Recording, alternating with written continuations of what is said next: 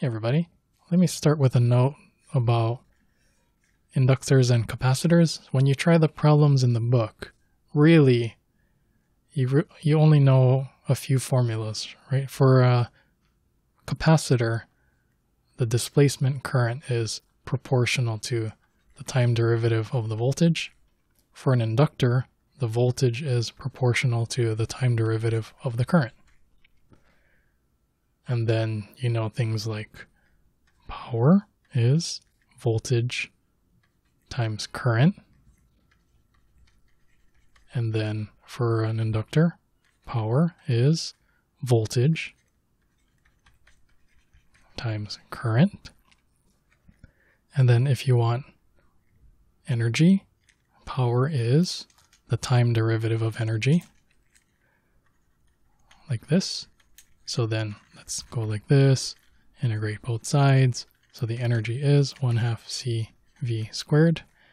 Same for an inductor. Power is time derivative of energy. Let's go like this. Integrate both sides. Energy is 1 half Li squared. And really, you'll just see a bunch of calculus problems. Now, when you're learning calculus, it's important that you know how to solve math problems by hand using techniques like integration by parts, which is what you'll see a lot for these.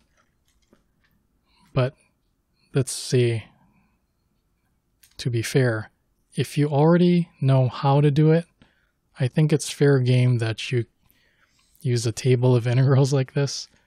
So you set up your problem and then look for the solution in this table of integrals. That's totally fair, I think.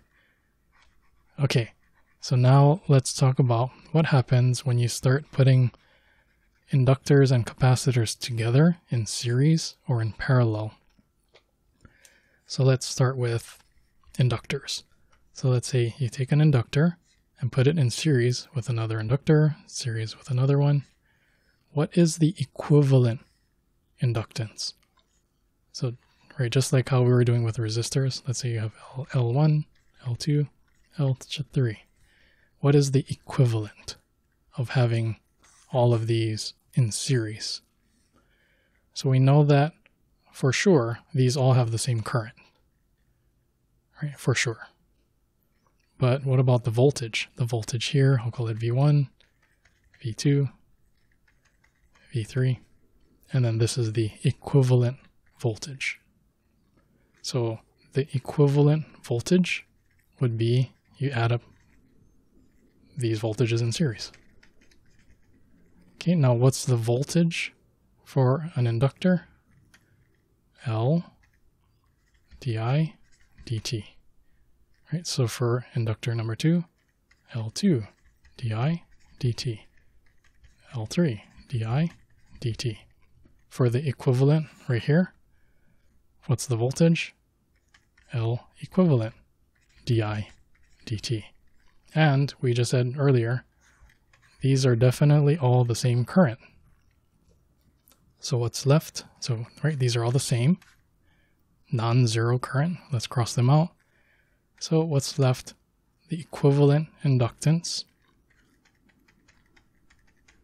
Like this, and however many you have. Like if you have a bunch of them. Okay, so series inductance, you just add them together, just like resistors.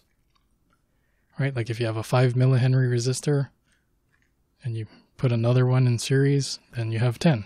That's it. Okay, what happens if you put them in parallel?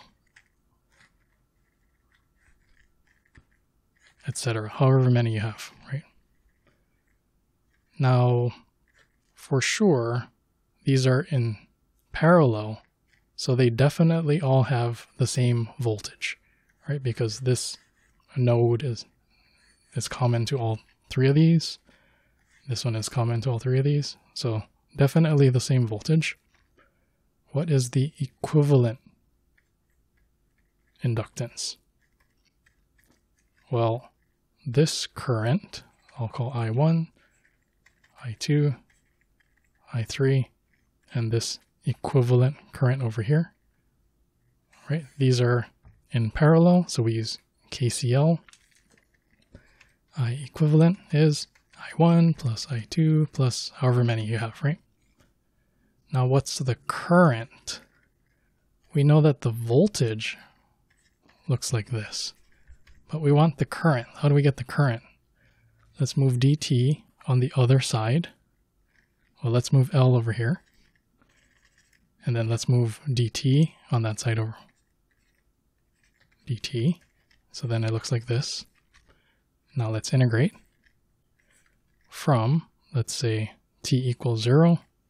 So i at t equals 0 to some other oh, t, some i, right? So we have i minus i at t0 equals 1 over L integral v dt. Okay, so I1 really is I1,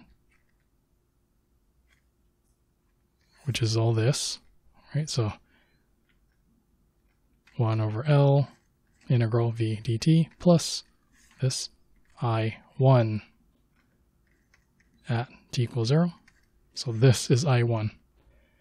Now I2 plus 1 over L2, I got to label L1, integral v dt plus I2 at t equals 0, etc. for however many inductors you have.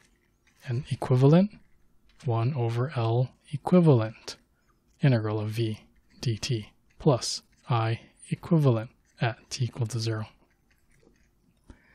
Okay, and we already said they all have the same voltage. So that, those cancel out.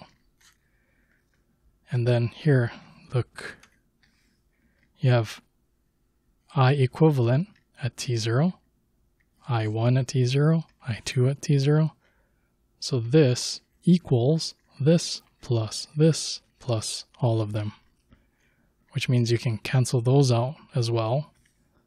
So all that's left is 1 over L equivalent, 1 over L1, 1 over L2, etc. Right, and that looks exactly like when we had resistors in parallel. Okay, now let's go to capacitors. So let's say you had a bunch of capacitors in series.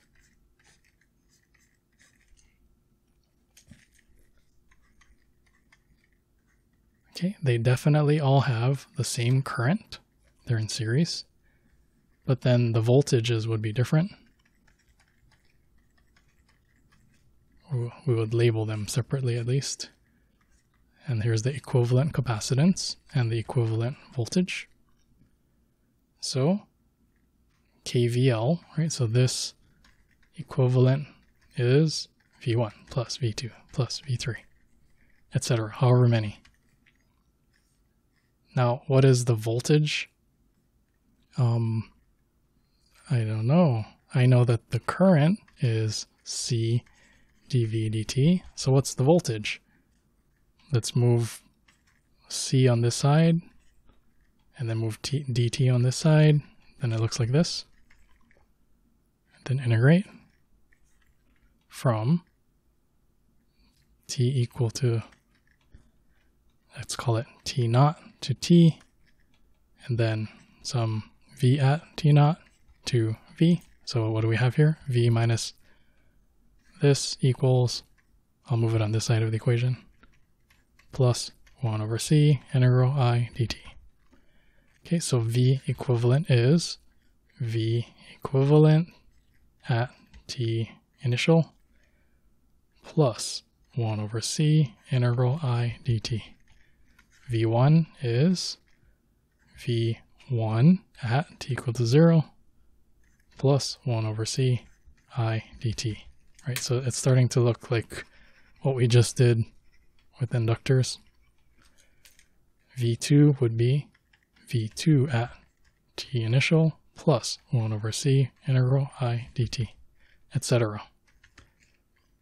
And then again, these are, oops, I didn't label this. This should be C equivalent, C1, C2. This is the same as this is the same as this.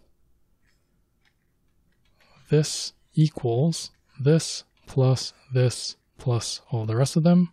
So we can cancel that. So what's left? 1 over C equivalent equals 1 over C1 plus 1 over C2 plus 1 over C3, etc. Okay, so capacitors in series are like this. Okay, and note the difference. Inductors in series look like this, add them together. Inductors in parallel is this one. Capacitors in series looks like this. Capacitors in parallel, what does that look like?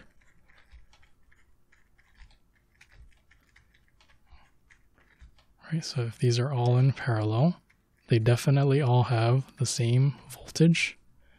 So what's the equivalent capacitance? Definitely the same voltage. What about the current? If I call this I1, I2, I3, I equivalent. So then I equivalent is I1 plus I2 plus however many. What is the current? C dV dt. For capacitor 1, C1 dV dt. For capacitor 2, C2 dV dt, etc. And we already said they all have the same voltage, so these are all the same. What's left? C equivalent equals C1 plus C2 plus etc. So capacitors in parallel just add like this. Okay, so remember all this and just keep on practicing using these. Then if you have any questions, let me know in the forum and I'll see you in the next video.